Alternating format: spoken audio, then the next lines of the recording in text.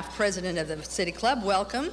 And welcome to our special program today, Keeping Oregon Connected in the Global Economy with our favorite guy, or at least our favorite Port of Portland director, Bill Wyatt, who's the executive director of the Port of Portland. Looking forward to hearing uh, from him.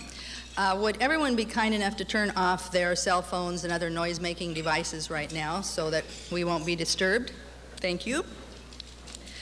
Uh, breaking news on our next Friday forum, it was going to be another Mystery Friday, but we have just learned that we have lined up three crack investigative reporters who will speak about what the public should know about the future of PGE.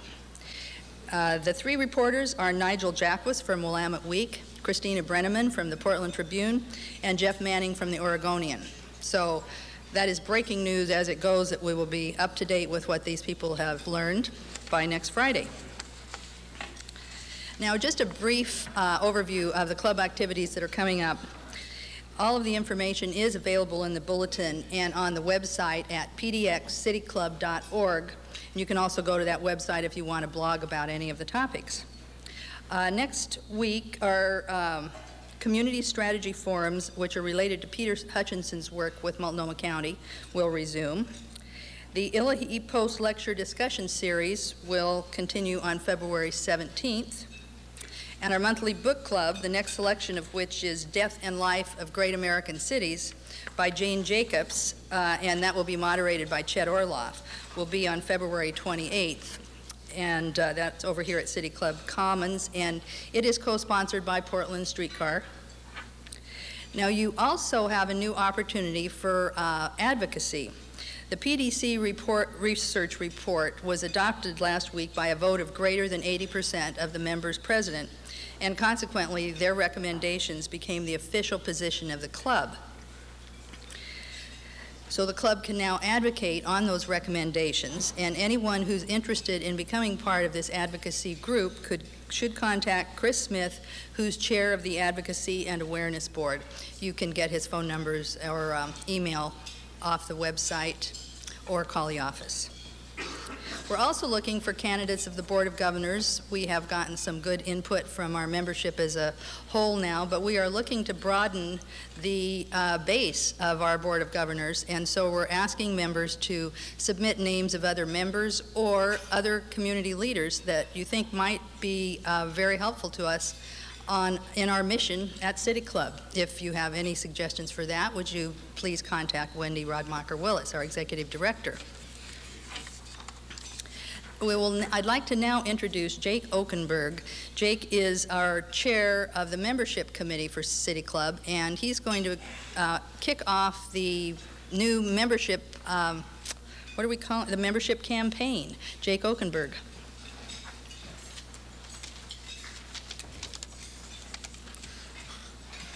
Hello. Today we are kicking off our membership drive, and it's going to run from today through June 3rd. It's been uh, actually several months since I last spoke to you and just wanted to give you an update that over about the last year, year and a half, we've increased membership by over 200 members, which is just a great accomplishment. Our goal between now and June is to do that again, bring in 200 more members, and I think it's something that we definitely can do. And we can do it keeping in mind some of the things that uh, Corleen just mentioned when we're thinking about our board, which is making it more broad, more diverse, representing all of the city. And so these are the things I think we can do and we can keep in mind. Well, how are we going to do that? We're going to be announcing several initiatives, several programs throughout this membership drive, and I'll let you know about those. But a few things today I wanted to tell you about. First, you're all being deputized as members of the membership committee. It's the easiest way for me to do my job is if I have 100, 200, 1,400 people all helping me out. And so you all do it already. Bring your friends, bring your family, bring them to a, a City Club events and encourage them to become members. You're all our best network to start with. Uh, and also, uh, as, as, a, as a point there, many of you were at our last Final Friday. It's the first time that we've done that. The last Friday of every month after the Friday Forum, we meet at the new space, City Club Commons, 9th and Washington. And it's a chance for you to bring out potential new members as well. See our physical space, see that space for yourself if you haven't yet, which is just fabulous, and get people interested in what we're doing. So that's number one. You're all going to help. Number two, we know that many people who come to great forums like today's with Bill Wyatt are not members. They're interested in the topic of the day. Well, we'd love all of you to become members. In fact, we know that at sometimes we have more than 50% of the people in the audience are not members. It's very easy to join. There's membership brochures in front of you. If there aren't, there's at the back. In fact, if Doug and Bonnie would wave back there, you can say hello to them, and they will help you out. Today and today only, we will waive the membership fee if you turn in your membership today. So that's what we're going to do. The second thing. Third and last thing that I'm announcing today, which is very exciting, all people who are part of an organization or a business, many of you already have this already, companies who are great supporters of City Club, if you bring in five members during our membership campaign, and actually we're going to continue this for the rest of the year and continue it if it's successful, we'll waive the membership fee for all those members. So just bundle them together, bring them to someone in our office, and we'll waive the membership fee. I'm getting a, I'm getting a, we're just going to do this for, for right now? New membership. Correct. I didn't say new? No, you didn't say new. Correction, new membership fee. We're not giving you a refund. So, uh, if I didn't make that clear. So, and uh, finally, um, we'll be unveiling several things in the coming weeks, and you won't just be hearing from me, you'll be hearing from the great members of our membership committee and our board. So thank you all and your help.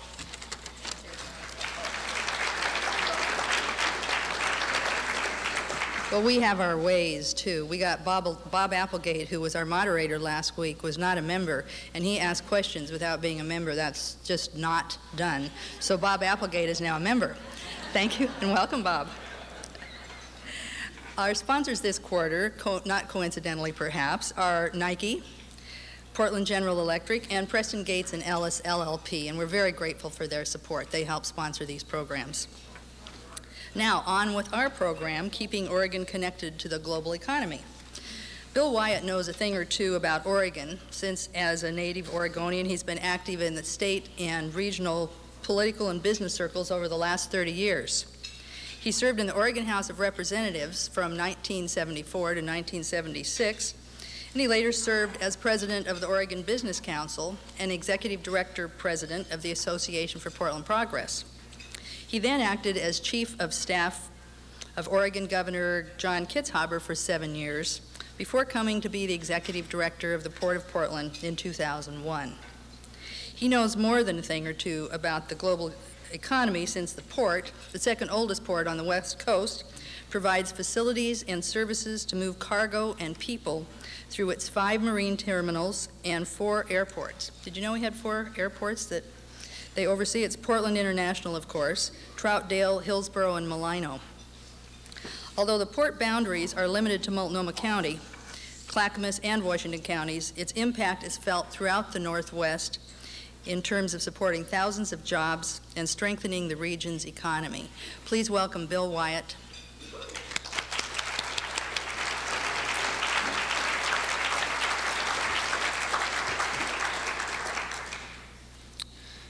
Thank you uh, very much, Corleen, and thank you to the City Club for, uh, for having me back. I enjoy this forum very, very much, and I, I guess I just want to add my own uh, kudos to the club for coming back downtown. I think it's great to have the, the City Club uh, in the heart of our city, where it belongs. Well, there's an old Chinese uh, proverb uh, that goes like this The man who waits for a roast duck to fly into his mouth must wait a very, very long time. There are really two reasons I wanted to open uh, with this. First, it's Chinese, and we're about everything Chinese these days at the port, paying a great deal of attention to China and to the remarkable, uh, some would say, astonishing growth of the Chinese economy and its impact on us here in this region. Uh, but more importantly, I think it reflects as well uh, the fact that we're not waiting around for that roast duck to fly into our mouth at the port. We're making changes, we're adapting uh, to this remarkable global economy that all of us find ourselves buffeted by to one extent or another.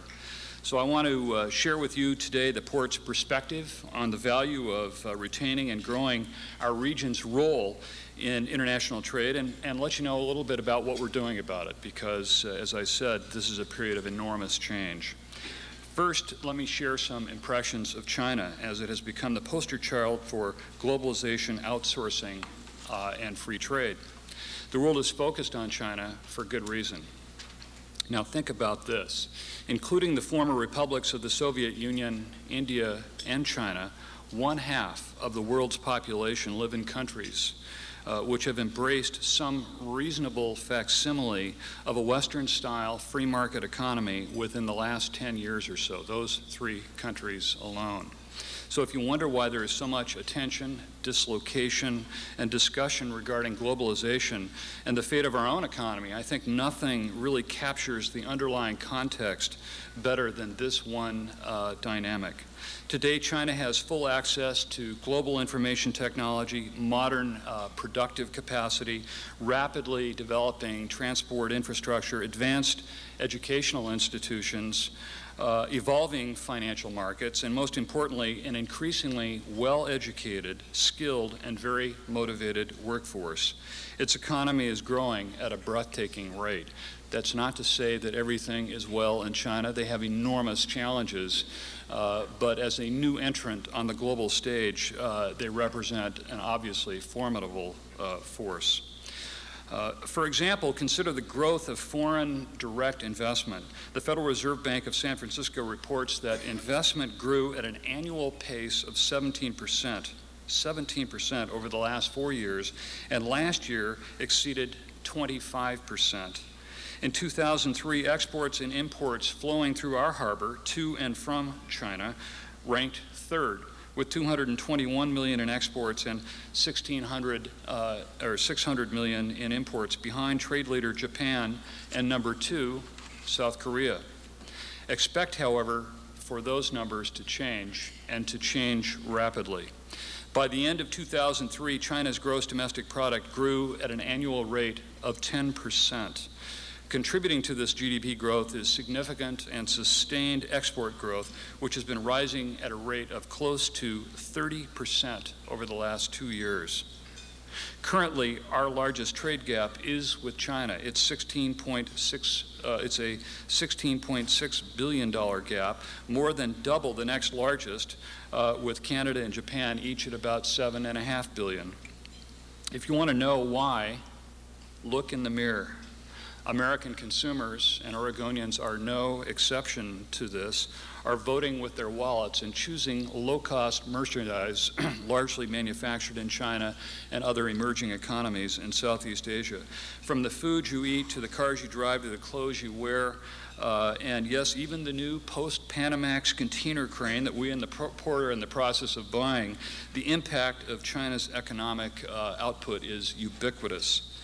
And the central question these issues raise is what does it mean for us? Do we in Oregon benefit from global trade, or in the long run is free trade, especially with the Chinese behemoth, simply erased to the bottom for our standard of living?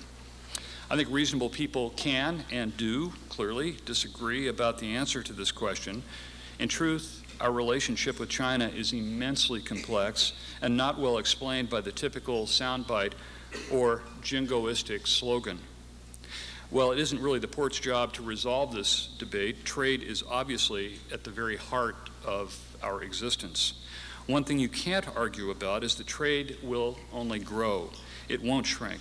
Companies are global, production is global, consumption is global. Our challenge is how to ensure that it works to our advantage. And I'd say as of this time, there are clear reasons for optimism and some reasons for concern. Portland and Oregon in general are coming out on the winning side uh, of world trade for two reasons. First, the business that global trade drives through our region, and second, the economic model it sets up where our employment is high skill, high wage, driven in no small measure by an entrepreneurial spirit which few other countries have yet been able to replicate.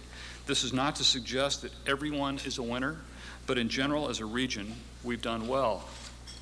Of concern, of course, is that a high skill, high wage economic model uh, requires a continuing strong investment in all levels of education, something both our state and our nation are faltering in. Uh, and furthermore, it requires that employers who want to be engaged in the global economy have access to a global workforce. Our nation's policies around immigration represent an immediate threat to our continued economic success. Finally, I would say that doing business uh, in a rapidly evolving and developing country like China can be enormously challenging. Uh, our region is full of companies who've had direct experience with this. Without broad recognition for long established legal tradition around such things as trademark and copyright laws, companies whose foundation rests on proprietary technology or brand recognition are always at risk. In terms of just sheer volume and economic impact of global trade in our region, consider some of the numbers. We're the number one auto import port on the West Coast, a fact we celebrated with Toyota recently uh, as they opened their new state-of-the-art $40 million auto processing facility. This year, Portland will import nearly 400,000 automobiles through our facilities. In an effort to speed the connection between consumer and car, all of the foreign manufacturers are doing an increasing amount of accessory installation on the dock here, a fact which has increased the jobs associated with our import facilities. And this is a phenomenon that you will see uh, increasingly as time moves forward.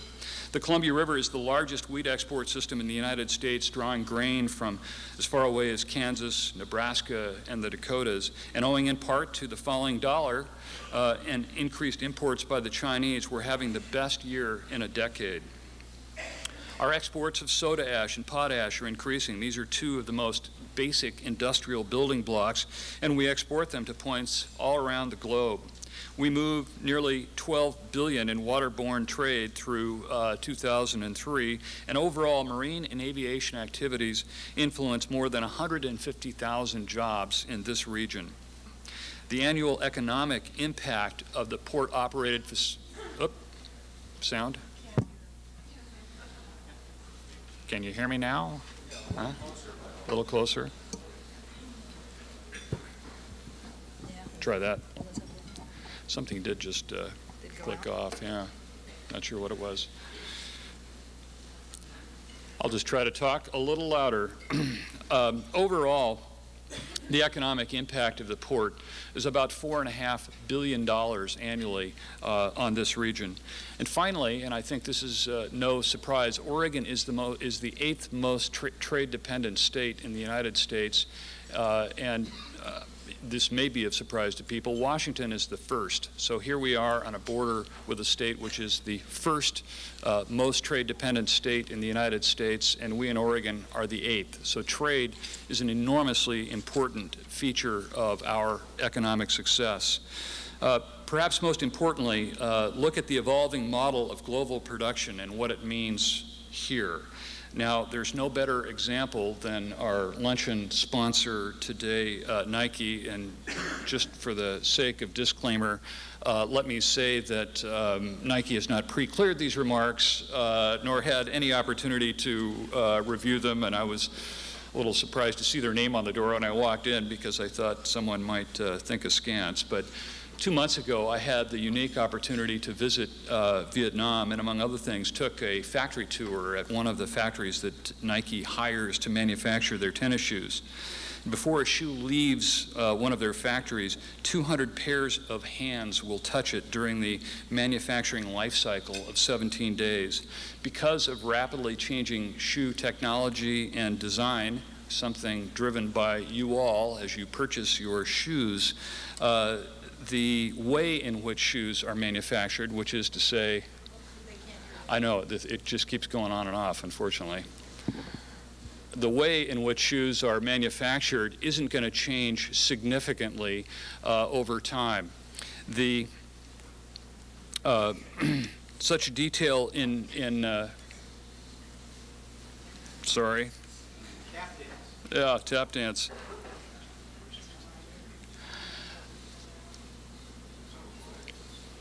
Well, I'll just, uh, oh, there it is, okay. Back, back again, back again. The gremlins, our port competitors, no doubt, are standing on the air hose back there somewhere. I think the point is that any manufacturing process that is so labor intensive, if attempted to replicate in this country, would mean that shoes would be priced at such a, a point that they would not be affordable. This is a business that wouldn't, it wouldn't exist. This once tiny shoe company born in Eugene in a garage employs more than 6,000 people now uh, out here in Washington County at their Beaverton uh, headquarters. And while the low-wage brawn, if you will, of manufacturing jobs may have gone overseas, the brains remain here, designing the popular U.S. products. In fact, Nike has never really been a manufacturer. They're an innovation and logistics company developing, marketing, and selling their products. Uh, and I think that's important because, oddly enough, this is a, a global system of production that this country, uh, that this company essentially invented. Uh, and here they are uh, in our midst. So what's it worth to a community to have a competitively successful global trader like Nike in our midst? The payroll, of course, is staggering. These are very high-wage jobs, but combined with the tax revenue that its employees generate, the amount it spends with local Oregon vendors, the charitable contributions it makes, the critical mass it has created in a highly skilled and very creative uh, uh, design and, and marketing profession, it's safe to say that we would be a very poor community without them. And if you look at the incredible cluster that has developed around so-called stitchwear, uh, athletic uh, and shoes, uh, it isn't here by accident. It's here because of the incredible critical mass that Nike, with its global system of production uh, and distribution, have created. Now, in addition, uh, and this is where it hits home for those of us at the port, Nike represents kind of the base customer for our air freight services to both South Korea and to China. So we, five times a week, uh, 747 air freighters take off from uh, Portland International bound for both South Korea and for China, loaded not entirely, but significantly with thousands and thousands and thousands of pounds of air soles, which are the basic uh, technology inputs into uh, those very Nike shoes. Uh, and it's uh, clear that without Nike here, we would not have access, the additional access these represent to their uh, markets. They're a major customer at our container facility as well. And because they and other companies like them uh, are here, and there are many other companies like them, Lufthansa, Northwest Airlines, Hanjin Shipping, and other global transportation providers find it economically and financially viable to serve Portland where they might not otherwise. And because they've added that capacity in our market, other smaller businesses have access to them as well.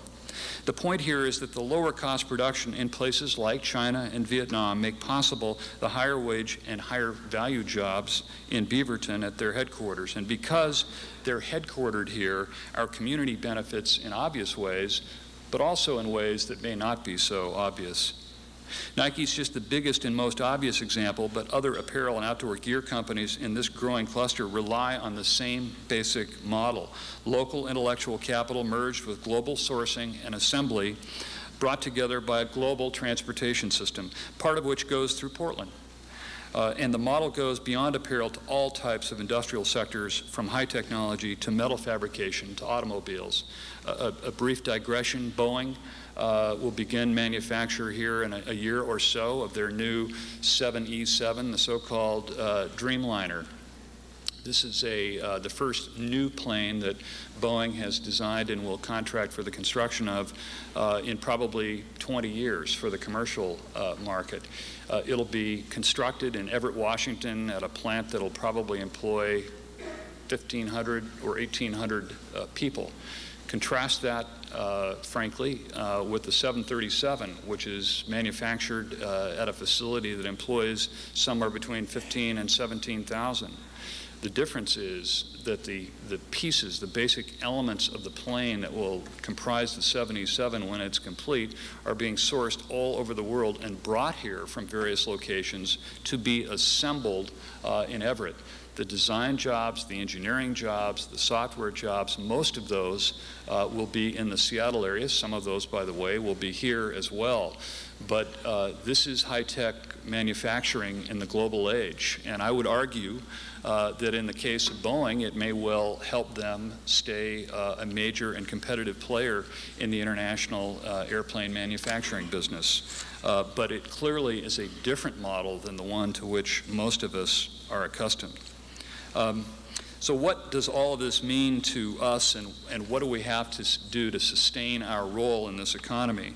And I think uh, I mentioned earlier the subjects of education and immigration. I feel very strongly about those. They're just not the primary topic of my uh, discussion today, and, and perhaps uh, would, would uh, be a useful topic for the club in the future. Charles Darwin said, It's not the strongest of the species nor the most intelligent that survives, it's the one most adaptable to change. So I want to talk a little bit about what we're doing uh, to adapt. And let me talk a bit about uh, retaining and growing container services here in Portland, a subject that has been in the news uh, considerably. Um, now, you'll have to bear with me. This requires a bit of explanation, and I'm aware of the fact that this is not a topic on the tip of the tongue of most people who live in this region. Uh, it's an arcane, uh, complex, but I would argue immensely important tool of global trade. Containerized cargo has been around uh, roughly for 40 years, and in Portland for about 30. Containerization has played an important part uh, in the revolution of global trade.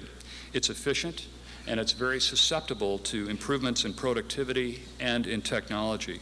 About 13 million of these containers moved through the west coast of the U.S. last year. For Portland and our region, until recently, containerized cargo movement represented an important tool used to send a variety of agricultural commodities, primarily, from here to our primary Asian and Mediterranean markets, things like compressed hay and French fries and onions and dried peas, lentils, and beans, and, and so forth, which have been very important export cargoes for our region. In fact, unique among all container ports on the West Coast, we've been dominated by exports and not by imports. That's significant for really a number of reasons. Uh, there was a time actually when carriers came to Portland because of our exports, mostly destined for Japan, and brought with them whatever imports they could identify for this uh, relatively small local market. And historically, this has served us pretty well because we had access to those very important foreign markets. Uh, it meant a great deal to the agricultural producers and to the machinery manufacturers and, and others uh, because it gave them low cost and competitive access to those very uh, important foreign markets. Now, I think it's important to understand a basic uh, paradigm here. Uh, for container ports that are primarily export oriented, uh, they need to be relatively close to the point of production. That would be us uh, in order to reduce the cost of inland transportation and distribution. Now, import-oriented container terminals need to be close to the point of consumption. That would be Los Angeles. Uh, and that is for the same reason, to reduce the cost of inland transportation and distribution, because the cheapest part of the journey any container takes is the, is the piece between the shores of the west coast of the United States uh, and Asia. On the water is the cheap part, on the ground is the expensive part. So locate these terminals where all of that can occur most efficiently. And while it is true that containers have long uh, dominated, uh, uh, well, imported containers have long dominated exported containers nationally, the recent growth in imports, particularly uh, from China, uh, has increased at an astonishing rate. And I'm sure that many of you read uh, stories recently about the congestion that is occurring in Southern California. And this is really what it's about just an enormous, and, and I would say not predicted rate of import growth, something that I believe has permanently uh, disrupted historical patterns and has very much changed uh, the situation for us in Portland in the container business. Now, because the laws of supply and demand have not changed, the revenue which carriers generate from U.S. imports is many times higher than the revenue generated for U.S. Uh, exports. And furthermore, uh, growth in imports has created a financial imperative for those carriers to get empty containers back to China as quickly as possible. And the sad truth is, in many cases, it is actually cheaper for the carriers to take an empty container from here to China than it is to load it with our lower cost agricultural products to send them to Japan first and then uh, to China, which is a pretty tough message to deliver uh, to the agricultural community and one of the challenges that we have in front of us. So the trade winds uh, have metaphorically left us somewhat marooned. Uh, this is what you've seen uh, at the port over the last few months, the loss of two of our three trans-Pacific uh, carriers who essentially added Chinese ports, and in order to add calls, you've got to drop calls. And Portland, based on this historic paradigm, this dynamic, was a relatively easy port uh, to drop. So uh, I, I, would say that the challenges historically we've faced uh, include channel depth. It is a big issue, one that we are obviously doing everything possible to address. The cost of hiring two maritime pilots to bring the vessel across the bar and up the river uh, the additional time involved in transiting 106 miles up and back to the mouth of the Columbia River. And then after you've done all of that, you arrive at what is the smallest market on the west coast of the United States with a container port, which gets in the way of that little uh, paradigm I introduced earlier, which is you want to you want to be close to the point of consumption for uh, for imports. So why am I bubbling with optimism? And with all these challenges, should we really care? Uh, let me answer the, the, the last question first. Yes, I think we should care. Terminal 6, which is the Port of Portland's uh, container facility, is a remarkable economic engine. Last year, the longshore payroll alone at Terminal 6 was $30 million business revenues associated with the operation of the terminal were over 100 million. If it were its own small business, it would be one of the larger ones uh, in our region.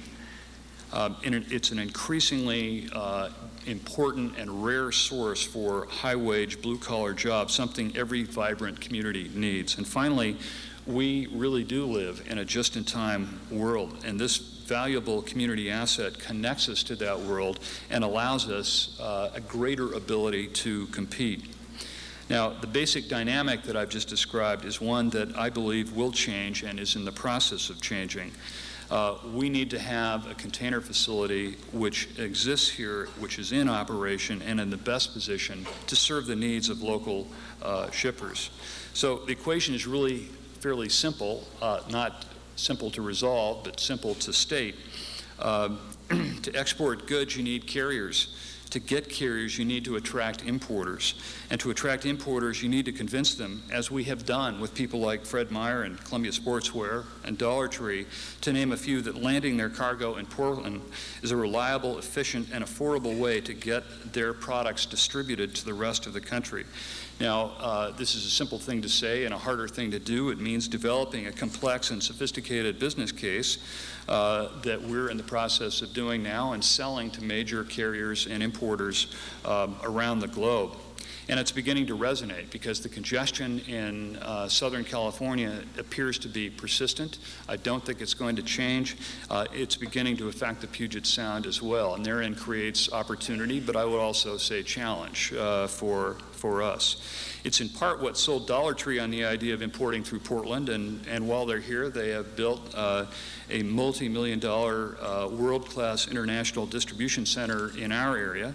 Uh, we're situated here on two Class 1 railroads, two interstate freeways, and a vibrant river system, all of which give us superb transportation uh, connections. Now, I think uh, the, the, maybe another way to think about it is this. Uh, the massive and, as I said, somewhat persistent congestion in other ports makes the relative inconveniences of serving Portland seem more modest by comparison. Uh, this is a, a, conundrum that I think some have seen coming.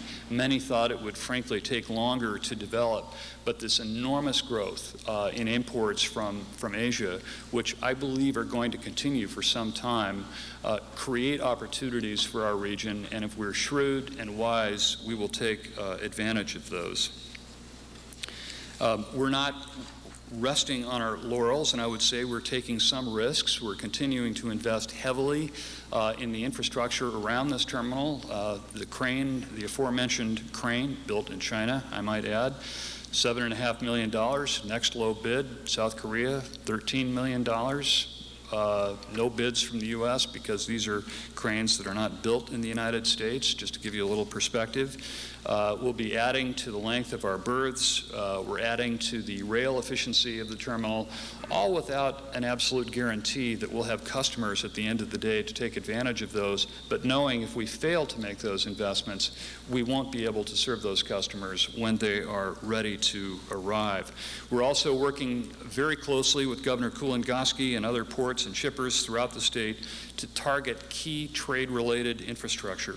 Uh, we've joined him in promoting a concept called Connect Oregon. Over the past several legislative sessions, significant investments have been made in the road system, but relatively few uh, in marine and rail, and we think it's time to address uh, that. Connect Oregon is not only a smart investment, it promotes the smart use of state resources. Uh, it'll require matching investments, uh, significant private investments, uh, in order to trigger any public expenditures. The public expenditures would come from the sale of bonds backed by the Oregon Lottery, which I would just add was the original intent of the Oregon Lottery when it was established by a vote of the people uh, more than a decade ago. So I want to leave you today with a, a simple message, I hope. Global trade can have significant advantage for, advantages for our economy. And at the port, with the cooperation of other regional local governments and uh, other important partners, we're investing to stay uh, connected to that global trade. Uh, these are advantages that will not automatically accrue to us. We must take action in order to take advantage of those. But before I close, I just want to stress that uh, we are very well uh, positioned uh, here as a course of geography and history, both working in our favor. Every now and then, I think it's important to kind of lift your head up uh, from the daily grind and, as President Jefferson said, look forward to distant times. Instead of the daily grind of immediate business challenges, uh, uh, pose the question, what do we expect the future to look like and are we really doing what it takes to be ready? Just a couple of weeks ago, we had a fascinating uh, presentation from Dr. John Kasarda, who is a professor of logistics at the University of uh, Carolina, talking about the growth of uh, uh, that business, uh, logistics, and how it relates to business location. And his essential thesis is that proximity to air transportation is a key driver for business location and success, and that we will increasingly see the development of industrial complexes around airports, a concept he calls aerotropolis. This is a little difficult to imagine in the confined spaces around PDX, but I think an important corollary is that speed, agility, and reliability in the movement of goods will be vital to businesses. And the regions which master that will have a key competitive advantage over other reasons, uh, other regions. We asked him to assess uh, our region's potential. That's really why we brought him here. And this is what he pointed out. We can make Portland a hub for 21st century multimodal commerce and catapult the region into global leadership in a, in a time-critical, high-value manufacturing and distribution world if we develop a strategy that targets speed, agility, and connectivity as the keys to business success, works to fully integrate air, sea, road, and rail transportation modes throughout the region, and utilizes innovative infrastructure and information technology systems to support high-tech manufacturing competitiveness and supply chain management, a mouthful. Uh, that's only three sentences on the page, but obviously a generation's worth of work. So I leave you with that thought today because of all the challenges the rapidly changing world of global trade throws our way. The bottom line is really this. Our region is uniquely positioned geographically, historically, and economically to thrive in this increasingly globalized world. Our job is to take advantage of that, to be aggressive, to see the future and seize it. Thank you.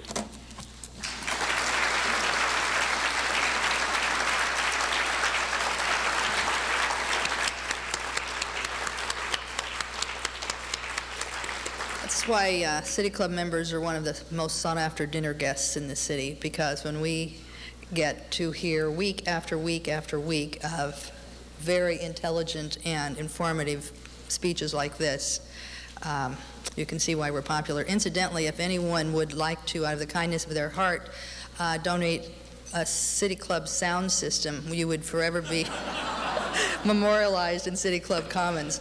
I'd like to introduce uh, Susan Hammer now. She's our uh, Board of Governors uh, host today, and uh, Susan is a Portland attorney, mediator, and arbitrator. And she focuses on business and employment disputes. She's a fellow of the International Academy of Mediators, and she currently serves as vice chair of the Board of Trustees of Willamette University. After Susan asks her questions, please feel free to line up here to ask your own. And a question is usually finished with a question mark on a rising inflection, and it takes 30 seconds or less to ask. Thank you.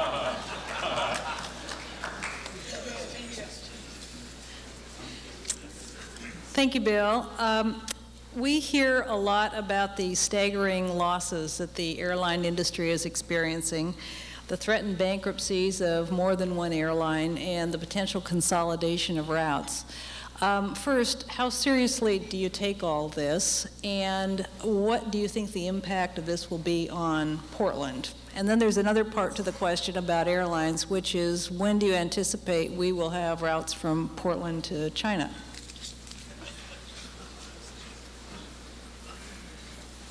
Well, we take it very seriously, the state of airline health uh, at the port. Overall, 97% of our revenues come from business transactions. So these are our customers, and in the case of the airport, um, our customers pay all the bills. Uh, and so it's deeply concerning. We've got about 38 carriers, I think it is, at, uh, at PDX. Four of them are in bankruptcy, uh, and uh, including United Airlines.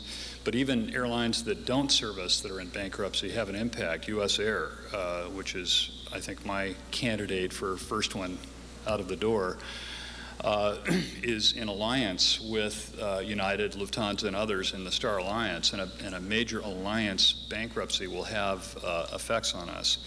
I would say, though, uh, whatever management challenges they may present us, we are accounting for that and doing what it takes in order to prepare for the potential disruption that major uh, bankruptcies would cause.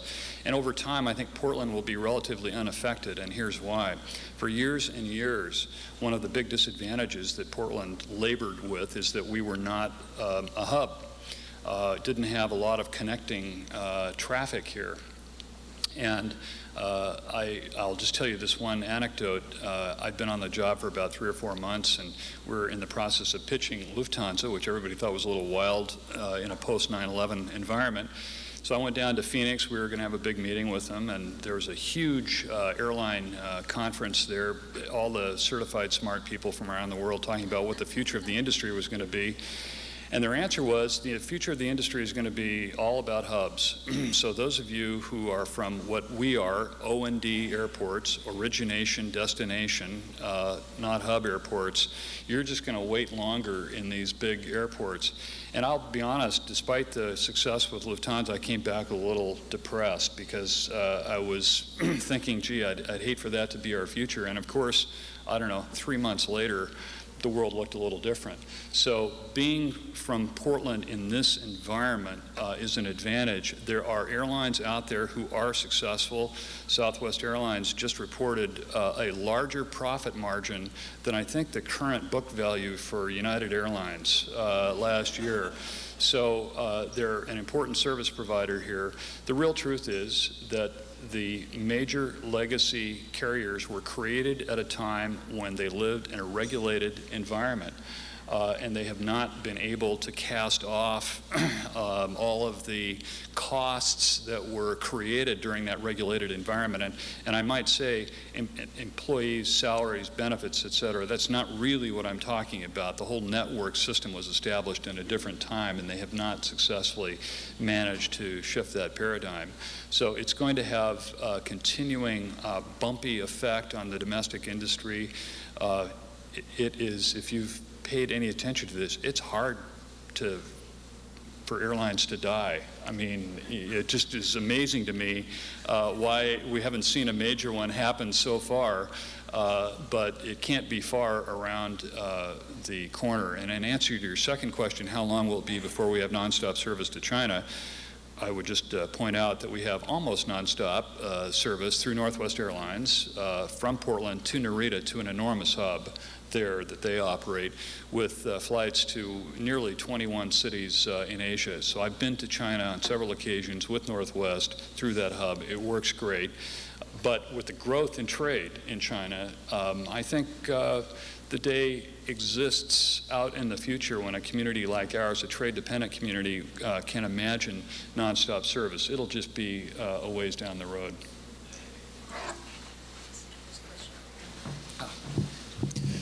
Tom, Cla- uh, my name's Tom Cox. I'm a City Club member. Uh, I've got like five questions. I just want to ask you the one that's top of mind. Uh, well, I'll, I'll, unless someone else gets in line with me, I'll just keep hitting them.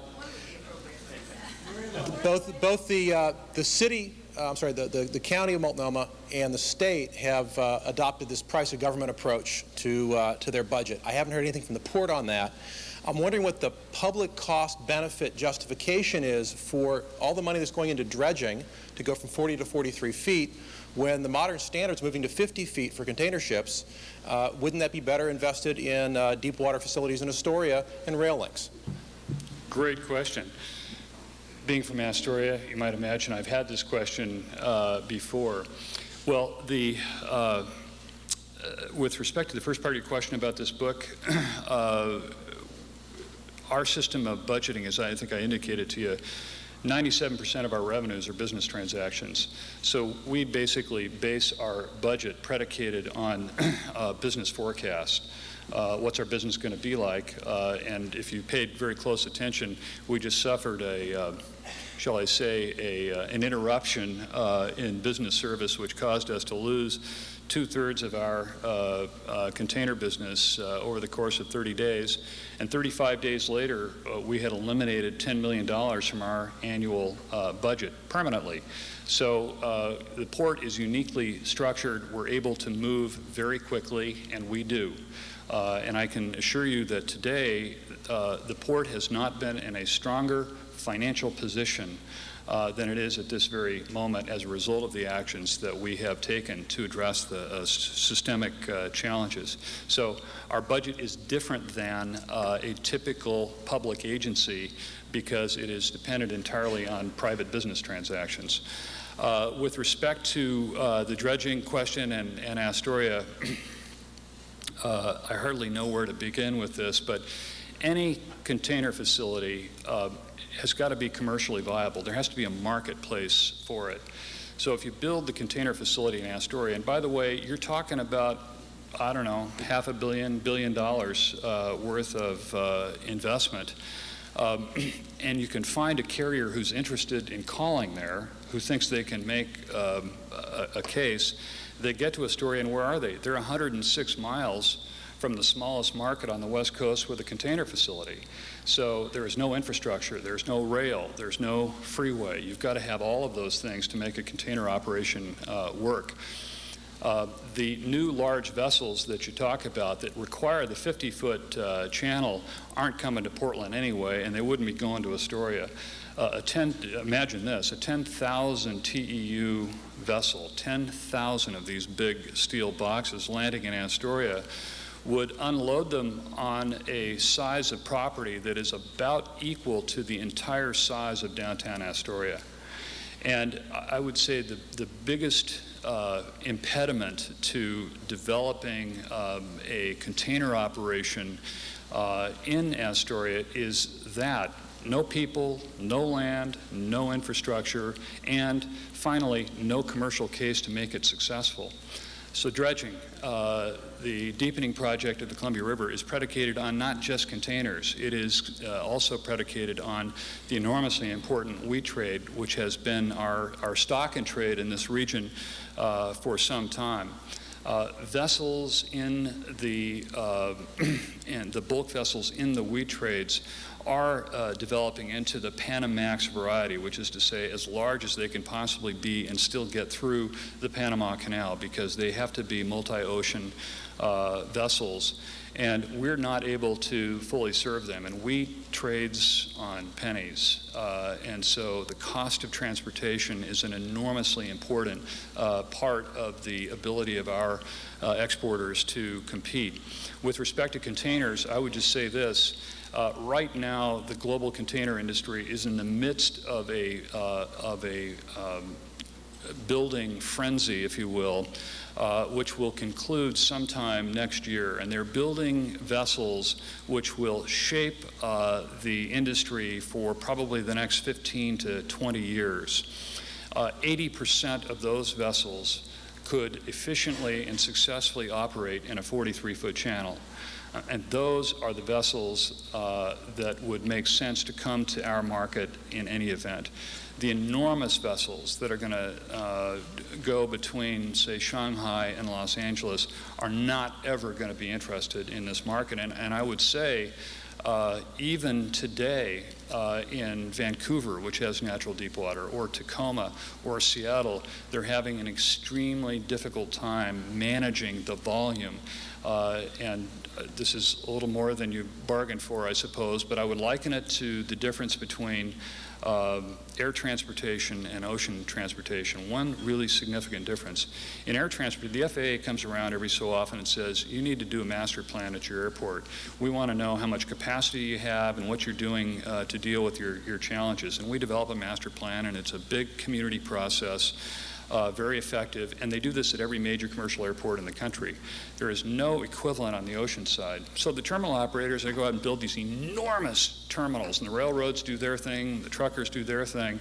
And as it turns out, nobody really talked very closely with one another. And so as these enormous vessels arrive in Los Angeles and disgorge their cargo, there's no rail access. Uh, the truckers can't get in and out. The neighbors are angry because of all the activity. Uh, and that is going to play in our favor. So there are enough vessels out there, an enormous fleet of vessels, that will be able to fully and efficiently function uh, in a 43-foot channel, and that's why we uh, are so strongly in support of it. A lot cheaper to do that than try and disturb the lower river estuary with the construction of a major international container facility. Hi, Bonnie Geo, Six City Club member. Thank you for coming. And I just had a clarification question, if you don't mind. You'd mentioned that Oregon is the eighth most trade-dependent state and Washington was the first. And I would assume that that's based on dollar value of goods exported. But I'm wondering if you could clarify that and is it per capita adjusted? Thank you. It's, it's dollar value and in Washington, two, two words, Boeing, Microsoft, you know, uh, and uh, is it is it adjusted for? Population. No, just dollar value, which is significant, yeah. Bill Joe Smith, City Club member. Two quickies. First, a simple one. Back in when I was in D.C. and then later, there was a constantly a periodic recurring problem of shortage of freight cars on the West Coast. I'm wondering, is that still a problem? And if so, what are we doing about it? Second, a tougher one. When and if, or when TSA finally begins turning its attention to the greater risk from standpoint of magnitude of sabotage through shipping as opposed to aviation. What is the port doing to anticipate that and also hopefully to head off some of the stupid things that they have done with aviation? Uh, well, there are our partners, so stupid I won't say, but uh, rail cars, uh, there are continuing railcar shortages, uh, and uh, this is a subject I've learned a lot about, which wasn't hard because I didn't know much uh, to start with. Um, and it has to do with speed. So there are just, you know, X number of various kinds of rail cars in the United States. So many flat cars, so many bulk uh, uh, cars, uh, and so forth. The slower they move, it seems, the fewer the cars. no big surprise. And speed is a big challenge right now. In the case of the Union Pacific, uh, this is a gross oversimplification, but I, I think this is uh, the essence of it. The Union Pacific failed to anticipate their labor needs. Uh, and as a result, there are a lot of trains hanging around at various parts of the country without crews. Uh, and so the cars are sitting there on the track, the engine's running, there's no crew, and the car isn't where it's supposed to be, which is either getting unloaded or being available for, for some other uh, purpose. Uh, and that is the primary uh, challenge related uh, at the moment to uh, access to rail cars. Uh, the BN has been a little more, um, I think, successful uh, at planning for this and, and managing uh, its its future, but they're operating at, at pretty close to capacity right now in the system that they have available. And I think this is a it's a big challenge for the uh, for the United States. We have not really thought through carefully uh, the importance and the nature of the rail network. With respect to the TSA, uh, and so the point I think, Joe, is that the, the Union Pacific is hiring um, and um, they're, they're doing everything they can to staff up. Um, it's a challenge, oddly enough, in a, in a state with uh, uh, unemployment as high as it is. They've had a challenge, frankly, finding uh, qualified uh, workers but they're slowly but surely uh, getting there. They're very important to Oregon. They earn 10% of their corporate revenue in this state, uh, which just tells you about the importance of, of rail um, in this region.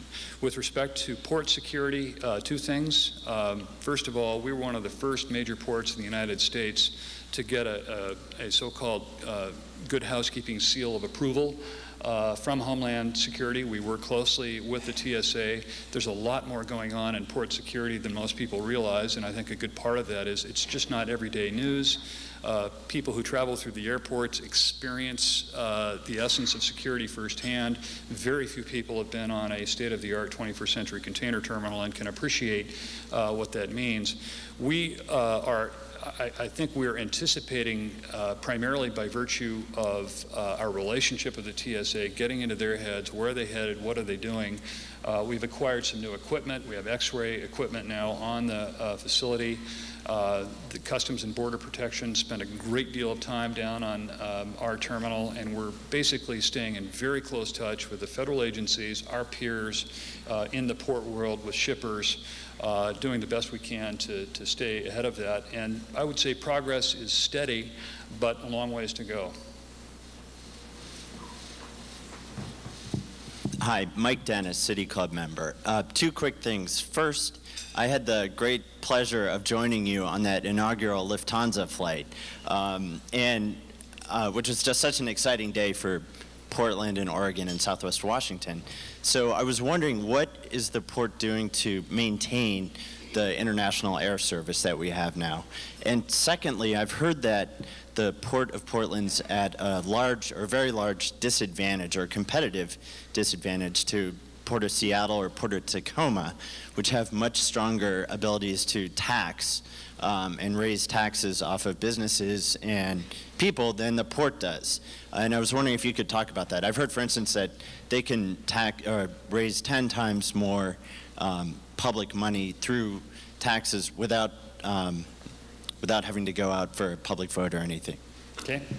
Uh, what are we doing to keep it? Uh, we have a uh, very high intensity marketing operation within aviation uh, focused specifically on these international services.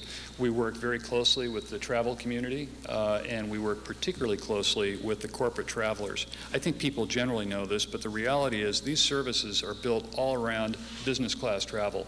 Uh, so it is enormously important for them uh, to make their money in the front uh, of the plane. And for those of you who are regular coach flyers, I'm sorry, but you know they, they make their money up front, and so that's why we spend as much energy as we do working with the Nikes and the Freightliners and the Adidas and, and others uh, who really spend a lot of money on uh, business class travel. A lot of it's, you know, problem solving and making sure that communications are, are good. We don't get in the middle of rate negotiations. That's a whole other proposition. So we work very closely with the carriers to identify opportunities for them here and, and make it work. Yes, it's true. Seattle um, has a huge tax base. We don't. That's life. We'll deal with it. Uh, we don't need uh, a larger tax base. Uh, and I think it would probably be a mistake in any event because it would cause us to head in, in the wrong direction. So they can have their $51 million, we'll take our seven and be happy with it. We have about time for one more question. Kurt, did you have a question before Tom gets to ask two? Okay. And this, uh, we have about two more minutes. I don't want to jump ahead of anybody. Okay. Uh, Tom Cox, City Club member.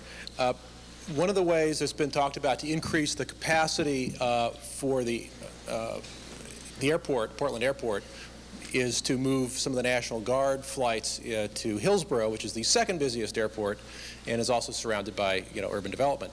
Uh, is there any consideration being given to moving the Hillsboro Airport about five miles north out of the urban growth boundary and freeing up 1,000 acres for infill in Hillsboro and allowing for a larger Hillsboro Airport that could actually handle uh, an increase in traffic? No.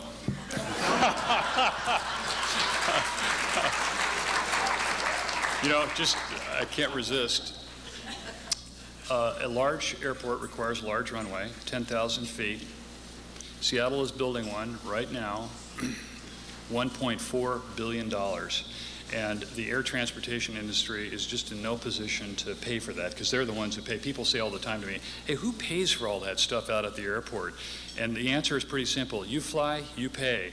Uh, and so that's really the answer to it. There is no way to, to afford it. it Hillsboro is where it is, and uh, if it ever becomes too much of a challenge for the community, we'll have to think of something else. But moving it is not really an option. Yeah, thanks. Thanks, Bill. That was a, a good suggestion, though, Tom. uh, in any case, uh, thank you so much, Bill Wyatt, for a very enlightening uh, speech today, and please uh, let's see you here next week for our um, investigative reporters outlook on what's happening with PGE. We're adjourned. Thank you so much for coming.